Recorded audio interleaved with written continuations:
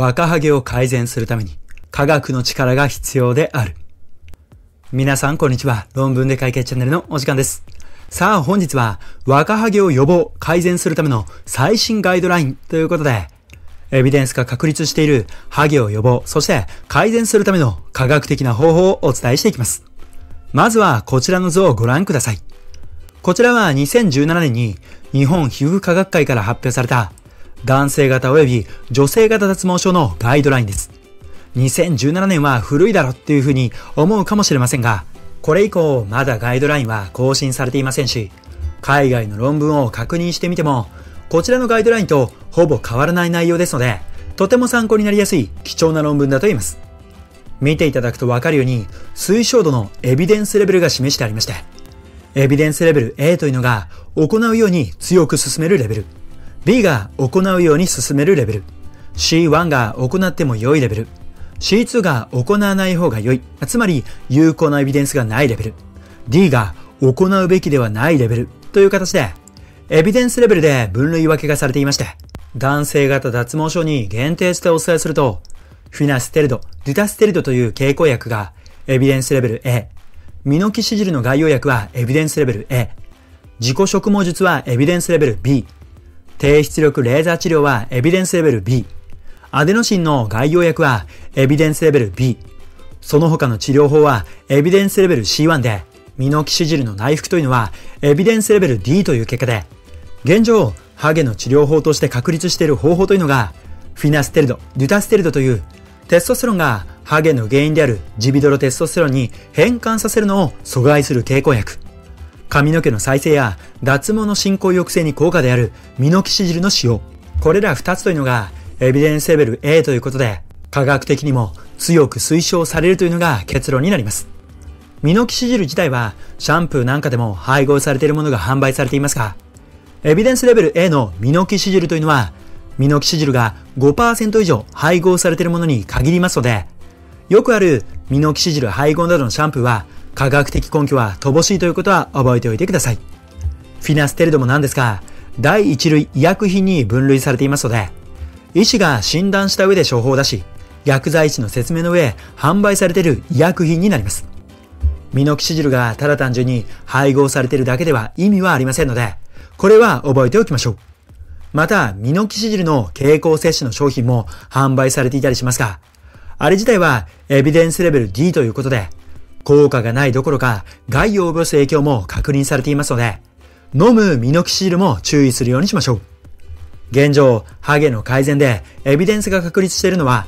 フィナステリドとミノキシジルですので、変な商品にお金をかけず、ハゲが確実に進行しているなと思ったら、必ず病院を受診し、ミノキシジルを処方してもらうようにしましょう。そして、ハゲの進行を予防するためのエビデンスレベルが確立しているものとして、髪の毛にとって健康的な習慣に変えるということも有効ですので、ここからは髪の毛の健康を整えるための5つの習慣について深掘りをしていきます。それでは行きましょう。ハゲの進行を止めるための健康習慣。まず1つ目は朝日を浴びることです。2016年のブリティッシュコロンビア大学の研究では、薄毛に悩む210名を対象にして、疫学データの分析を行ったんですが、結果としては約62%の方で血中のビタミン D 濃度が不足しているという結果が出ました。つまり、薄毛に悩んでいる方の6割以上が体内のビタミン D が足りなくなってしまっているということです。ビタミン D というのは骨の健康や免疫力アップなどホルモンバランスを整える役割を強く持っていますので、ビタミン D が足りなくなると薄毛というのは進行してしまいます。体内のビタミン D を上げる方法というのは至って単純です。朝日を30分以上浴びることです。太陽の光を浴びることによって体内のビタミン D が生成されますので、朝起きたら外に出て体に太陽光を浴びさせてあげてください。次、二つ目は亜鉛と銅の摂取です。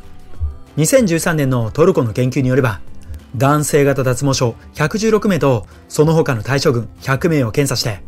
髪の毛の亜鉛と銅のレベルの差を見たという研究が発表されまして、男性型脱毛症の進行を予防するためには、亜鉛と銅の摂取は欠かせないことが明らかになっています。亜鉛であれば牛肉や牡蠣、卵や海苔、銅であれば肉類、納豆がおすすめです。朝ごはんには卵と納豆、夜は肉類を摂取していただくと、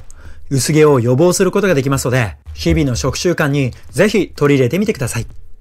次、3つ目の習慣は、コーヒーの摂取です。2003年のボストン大学から発表されたレビュー論文からは、ストレスホルモンであるコルチゾールが髪の育毛サイクルを止めてしまうということを明らかにしていまして、通常髪というのは弱くなった髪や細くなった髪が抜けて健康な髪が生えてくるというヘアサイクルがありますが、体内のコルチゾールが増えすぎてしまうと、このサイクルが止まってしまうというわけです。なので、ハゲを予防したいのであれば、できるだけストレスは溜め込まないようにしましょう。そして私のおすすめとしてはコーヒーです。コーヒーに含まれているカフェインはストレス解消作用が強くありますので、なんかむしゃくしゃするなと思ったらコーヒーでほっと一息つくようにしましょう。ストレスは薄毛だけじゃなく、いろんな病気のリスクを上げてしまいますので、できるだけ溜め込まないように注意するようにしてください。続いて4つ目は、肥満の解消です。2014年にトルコから発表された研究では、男性116名を対象にして、肥満と薄毛に関する研究が行われまして、BMI が高い肥満体型の男性ほど、髪への栄養が少なく、剥げやすいという結論が出ています。台湾から発表されたアジア人を対象にした研究からも、BMI が高いほど若ハゲのリスクが高くなることが分かっていまして、肥満というのは確実にハゲを進行させます。肥満改善のためには、いろいろなことを見直す必要がありますが、一番重要なのは、やはり運動です。運動の習慣を作ることは、髪を増やすための肥満改善の第一歩になります。薄毛の予防という部分を考慮するのであれば、ランニングみたいなきつい長時間の運動はストレスホルモンであるコルチゾールの分泌を促してしまいますので、ウォーキングが圧倒的におすすめです。外に出て気持ちいい風に当たりながら、ウォーキングをして肥満解消していきましょう。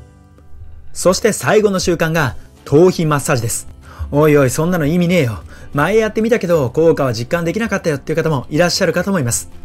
この頭皮マッサージですが、やり方さえ間違えなければ、髪の毛の太さを改善するのに有効なんです。2016年に25歳から46歳の男性9名を対象にして、1回4分の頭皮マッサージを24週間行うと、髪の毛の密度、太さ、育毛率はどう変化するのかの研究が発表されました。24週間ですので、半年間行うとどうなるのかという長期間の追跡調査になります。そして結果としては、まずは育毛率ですが、これは特に変化はありませんでした。続いて髪の毛の密度に関しては、12週の段階でマッサージを受けていたグループで密度の低下が見られました。最後に髪の毛の太さでは24週目の段階で優位な改善が認められました。つまり頭皮マッサージをすることによって成長が止まってしまった細い髪の毛が抜け落ちて髪の毛の密度が低下し頭皮の血流がマッサージによって高まることから髪の毛の太さが改善されるというわけです。頭皮マッサージをすることは髪の毛の健康を保つためには有効になるんです。どうしても抜け毛を気にする方がいらっしゃいますが、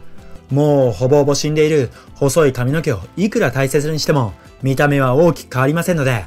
頭皮マッサージをして健康な髪の毛を太くしていくことが重要だと言います。6ヶ月間ですので、長いなっていうイメージを持つ方もいらっしゃるかと思いますが、1回4分なので、日々の日課にしていただきたいと思います。もちろん、ハンドマッサージでもいいですが、お金に余裕がある方は、電動の頭皮マッサージ機器がおすすめになります。気持ちいい上に疲れませんので、余裕がある方は電動を試してみてください。ちなみに私は、これを使って頭皮マッサージをしています。特に案件ではありませんので、自分の使いやすい、買いやすいものを選ぶようにしましょう。朝日を浴びて、亜鉛と銅を摂取。コーヒーを飲んで歩く。そして頭皮マッサージを日々の日課にして、フィナステルドもしくはミノキシジルを使用する。この流れが科学界の髪の毛を増やすための極致ですので、ぜひ参考にしてみてください。それでは本日は以上です。ご視聴ありがとうございました。